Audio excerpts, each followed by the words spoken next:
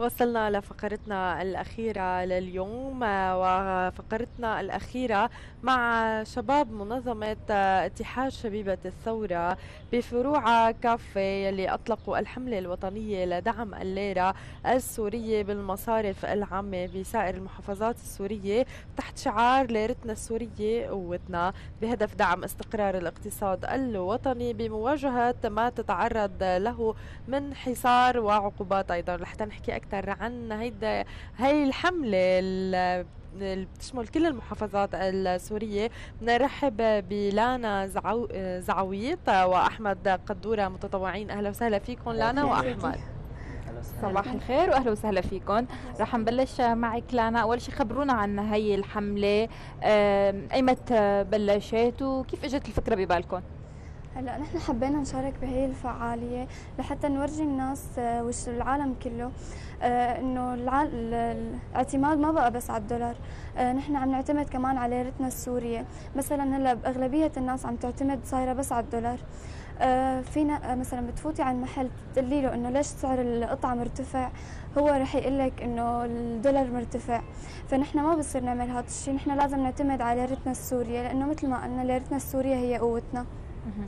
ومثل ما بنعتز نحن بوطننا فينا نعتز بليرتنا السورية لأنه هي رمز الفخر والقوة لوطننا. أكيد. أحمد أهلا وسهلا فيك. يعني انت مثل لانا متطوعين أنتم بهي الحملة آه، اللي هي بتخص الليرة باتحاد شبيبه الثورة.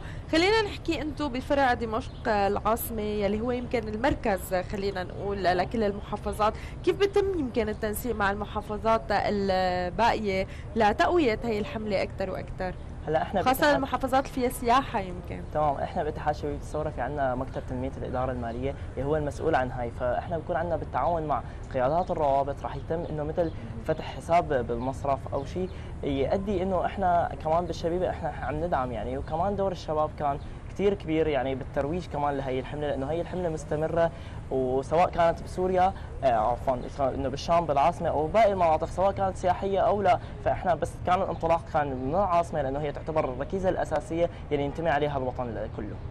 نعم. لأنا رح نرجع لعندك. خبرونا نزلتوا على المصارف. أنتم شو قلتوا للعالم؟ يعني شو هي الخطوات لازم يسووها اليوم السوري لحتى يدعم ليرته شو صرتوا تقولوا للعالم؟ تمام.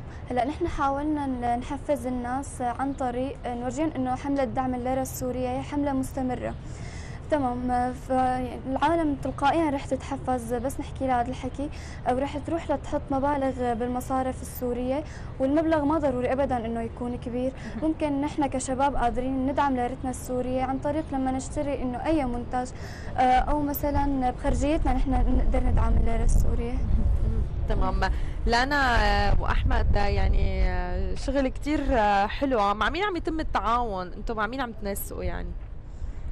التعاون هلا بكون مثل ما قلت لك مكتب الإدارة المالية تمام. هو بالاتحاد الشبيب طيب هي هي المصارف طيب هي هي القصة كيف نشرتوها بين العالم؟ يعني كيف وصلت لكل بيت ولكل حدا ماشي بالشارع؟ إنه يدعم الليرة السورية إنه هي الحملة آه، يشارك فيها أيضا.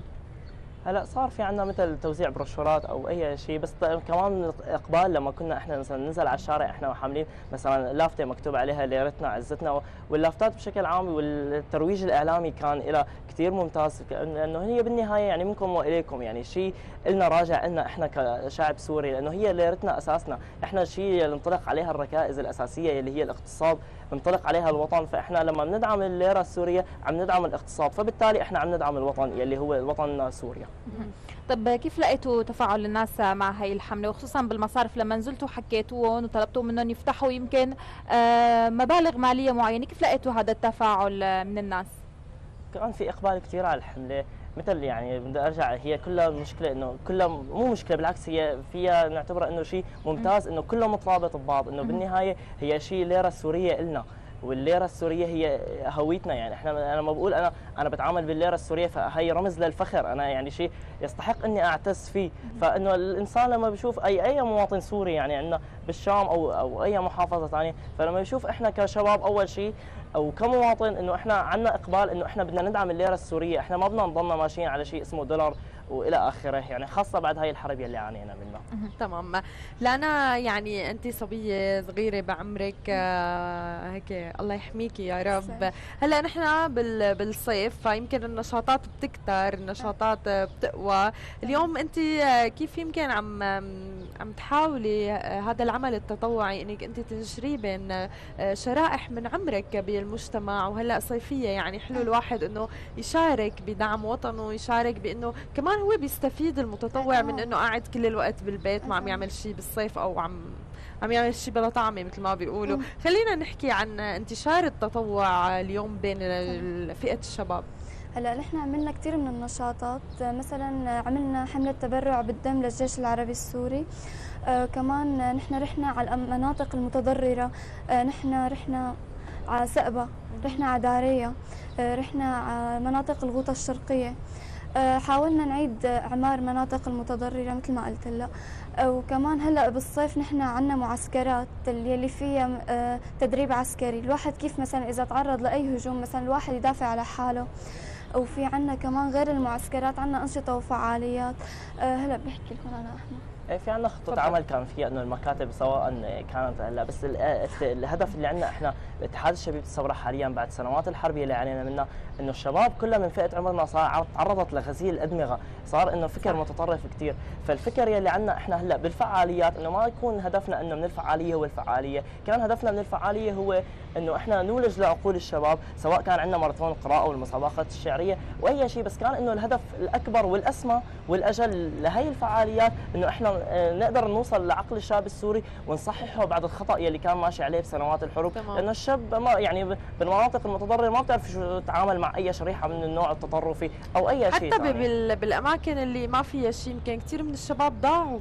ما عاد يعرفوا شو يعملوا بحياتهم آه، يكفوا درس آه، يشتغلوا ما ما في شغل في شغل. يعني كثير قصص يمكن العمل التطوعي بيقدر يفرغ لك إياهم.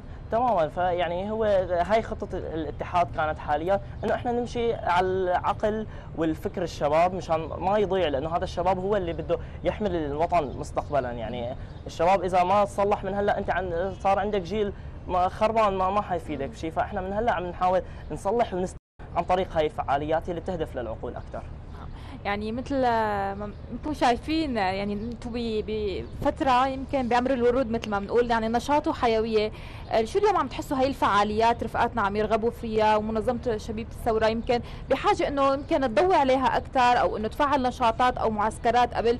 نحن خلال الحرب تأثرنا كلنا. في نشاطات يمكن كنا نسويها قبل. خلال هاي الظروف ما قدرنا نسويها لظروف معينة. شو بتحسوا اليوم هاي النشاطات؟ اليوم لازم ترجع تتفعل؟ أو الشباب شو حابين اليوم؟ آه، يخضعوا لنشاطات معينة آه، تعمل لهم هيك ريفريش خصوصا بالصيف. هلا نحن غير النشاطات اللي حكيتها من شوي كمان في عم نجذب الشباب مثلا عاملين من ضمن المعسكرات دورات تمريض ودورات تدريب للإعلام. حلو. عندنا غناء وعزف ورقص ونحت. آه نحن عم نساوي كثير آه، دورات لحتى نجذب الشباب فيها لحتى آه، مثل ما قالت حتى ما يضيع وقتنا. آه ما عم نضيع وقتنا. نحن بالعكس عم نستفاد من وقتنا ضمن هدول هي الدورات كيف الشباب بيقدروا آه، يفوتوا فيها؟ في تسجيل ولا بتعلنوا عليها بالمدارس؟ كيف بتم؟ هلا نحن بعل... آه، أول شيء علمنا فيها بالمدرسة. آه فحكينا فيها واجوا هن الطلاب صاروا يسجلوا عنا وبلشنا هلا فيها. نعم يعني شباب أنتم اليوم شغلكم على أرض الواقع عم يكون آه، كثير حلو بنشر ثقافات عدة. رح نرجع ونحكي عن تقوية الليرة السورية بالسوق. طب نحن إذا شفنا حدا عم يتعامل بالدولار أو بعمله أجنبية نحن شو بنتعامل كشباب؟ هلا أكيد راح تتقبل بالرفض لأنه زمان انطلقت على الركيزة الأساسية اللي هي السورية فأنت هون عم بتضر وطنك. يعني أشبه أشبه بالإرهابي تقريبا. لأنه أنت هون يعني أنت ما عم بتفيد وطنك بشيء أنت شو المواطن يلي ما بتعامل بليرته؟ يعني أنت ما ما بتفيدني بشيء. يعني أنت هون تقريبا طلعت من مسمى المواطن أنت صرت سكان السكان العاديين. يعني يعني أي شيء غير مواطن. فأنت عندك ليرة سورية مالك بعازل للشيء الثاني. فإحنا من خلالها طب هون لما إحنا بنحكي له إنه بهاي الشيء بقول لك أنت ليرتك ضعيفة. يعني هو كمان حشته بإيده. فإحنا لما من خلال هاي الدعم وهذا الشيء الحملات اللي عم نسويها للليره السورية والهدف إنه كمان كانت حملة مستمرة مشان إنه ما يصير حكي إنه عملتوها وقفت يعني هي حملة مستمرة مشان نفرجيه إنه بطل عندك حجة عندك ليرة سورية فإحنا تعاملنا راح يكون بالليرة السورية حننهي شيء اسمه الدولار. يمكن كمان دعم المنتجات السورية إن كان الوطنية يعني هلأ كثير من المعامل رجعت عملت إعادة إعمار ورجعت فتحت من أول وجديد وصار في بضاعه أهم من البضائع الأجنبية منتشره بالسوق كمان وبأسعار مقبولة يعني نوعا ما. يعني هلا الأغلب إنه كمان يعني حروب هي وسبع سنين وأكثر فكان الموضوع إنه أسباب المتضررة يعني إنه المصانع تسكرت. وما عاد حدا اشتغل وارتفعت الأسعار. فهذا الشيء كان يؤدي إنه نسترى يعني كانت قبل سنوات صارت سوريا بلد إنه صححها اكتفاء ذاتي بطل عندنا إحنا صحيح. يعني بد صارت دولة مصدرة مو مستري يعني ما صار عندها استيراد. فصارت سنه الحرب صرنا صارت القصة بالعكس. سنين الحرب صرنا إحنا بلد بتستورد أكثر من المصدر يعني صار عندنا مشكلة بالميزانية تبع البلد. فإحنا صار عندنا مضطرين يعني كمان الشراء الخارجي راح يكون بالدولار. فهون إحنا مضطرين إنه نبعد عن الليره السوريه بس حاليا بما إنه رجعنا هلأ سوريا بخير صارت الحمد لله إن شاء الله. فإحنا صار عندنا يعني رجعت فتحت المصانع وصار عندنا كمان ترويج للبضاعه السورية بشكل عام وصار في عندنا إقبال عليها واسع. يعني قديش حلو اليوم هذا الوعي اللي عندكم يا بالوعي الاقتصادي الاجتماعي يمكن بوضع البلد؟ قديش حلوة هي المبارد المبادرات يلي عم تقوموا فيها؟ يمكن لدعم الليرة السورية. أكيد بدنا نتشكركم كثير وإن شاء الله هيك تضلوا بهيدا الحماس وهي القوة دائما على طول. شكرا أحمد. شكرا لانا. أهلا وسهلا فيكم. وشكرا لكل الشباب المتطوعين يلي معكم مشاركين بالحمله باتحاد شبيبه ثوره شكرا كثير لكم.